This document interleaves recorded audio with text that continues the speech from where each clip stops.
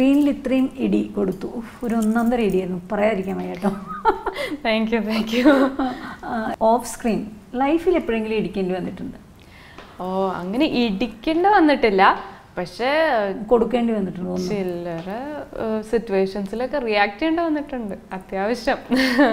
അങ്ങനെ വലിയ ഇടിയായിട്ടൊന്നുമില്ല പക്ഷെ നമ്മൾ എന്തായിരുന്നു അങ്ങനത്തെ ഒരു ആ ഒരു എക്സ്പീരിയൻസ് കാര്യം ഇതൊരു ഫ്രണ്ട്ലി മെസ്സേജാണ് പല കുട്ടികളും ചിലപ്പോൾ പ്രതികരിക്കാൻ മടിക്കുന്ന ഒരു കാലം. കാലമൊന്നും ഇപ്പം ഇപ്പൊ അതൊക്കെ മറികടന്ന്. മാറി വരുന്നുണ്ട്. പക്ഷെ എന്നാലും ചിലർ അയ്യോ പ്രതികരിക്കാൻ ഒരു പേടിയുള്ള നമ്മൾ മുന്നിൽ നിൽക്കുന്ന ആ ഒരു സമൂഹത്തിനപ്പുറം എങ്ങനെ പ്രതികരിക്കണമെന്ന് അറിയാത്ത ഒരു സമൂഹം ഉണ്ട് നമ്മുടെ ഇടയിൽ. അതെ അപ്പൊ അവർക്കുള്ളൊരു ഫ്രണ്ട്ലി ആണ് അത് ഈ മൂവി മൂവി അല്ല? ഞാൻ ലൈഫിൽ ഞാൻ പറഞ്ഞു വരുന്നത്.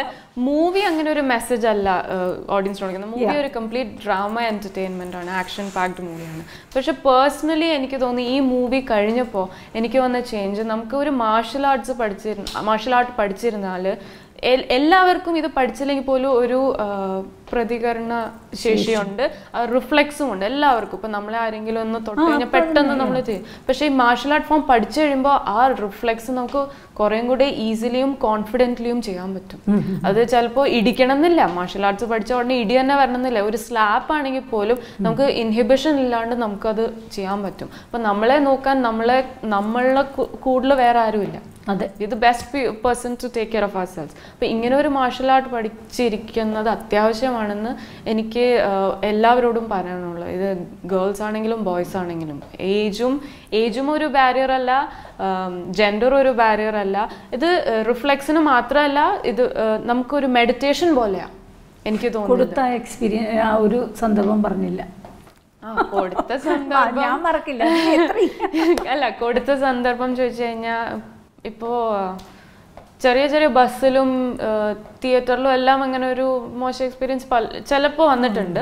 നോട്ട് ടു ബാഡ് എനിക്ക് അങ്ങനെ വലിയതായിട്ട് റിയാക്ട് ചെയ്യണം വന്നിട്ടില്ല. പക്ഷെ ഒരു പ്രാവശ്യം അത് വെരി സാഡ് ടു സേ പക്ഷെ ഞാൻ അമ്പലത്തിൽ പോയപ്പോൾ ഇങ്ങനെ എനിക്ക് ഒരു ഒരാൾ ഇങ്ങനെ ത്രൂ ഔട്ട് എന്നെ ഡിസ്റ്റർബ് ചെയ്യുന്ന പോലെ എനിക്ക് തോന്നി. അപ്പോൾ മാക്സിമം നമ്മൾ ഒഴിഞ്ഞു മാറി ആ. പക്ഷെ കുറച്ച് കഴിഞ്ഞപ്പോൾ എനിക്ക് he he was not leaving me alone നിർത്തുന്നില്ല. ആ നിർത്തുന്നില്ല. നമുക്ക് ഭയങ്കരമായിട്ട് നമുക്ക് തോന്നും മനസ്സിലാവുമല്ലോ അങ്ങനെ അപ്പൊ പുറത്തേക്ക് ഇറങ്ങി കഴിഞ്ഞപ്പോ ഞാൻ തിരിഞ്ഞു ഒരൊറ്റ അടി വെച്ചു. അമ്പലത്തിന്റെ അകത്ത് വെച്ച് ചെയ്തില്ല. അതെ ആ ഒരു അറ്റ്മോസ്ഫിയർ good decision. പക്ഷെ I thought he should he shouldn't repeat it. വേറെ ഒരാളോട് അയാൾ അത് ചെയ്യാൻ പാടില്ല എന്ന് എനിക്ക് തോന്നി.